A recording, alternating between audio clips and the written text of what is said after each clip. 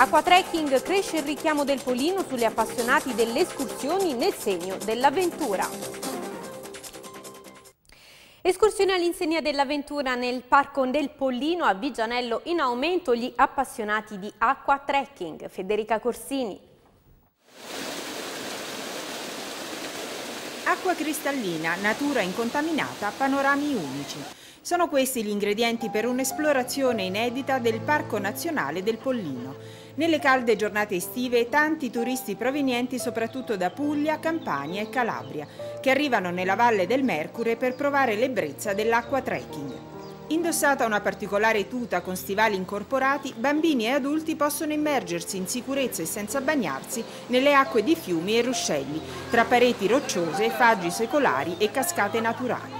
Accompagnati dalle guide del Parco del Pollino si avanza a piccoli passi controcorrente. Difficile non essere sopraffatti dalla bellezza della natura e dal caleidoscopio di colori e suoni. È stata bellissima, io mi sono divertita un sacco proprio, non avevo mai fatto attività di questo genere. Cosa ti è piaciuto di più? Il fatto di stare in acqua, di camminare controcorrente, soprattutto di essere uscita asciutta.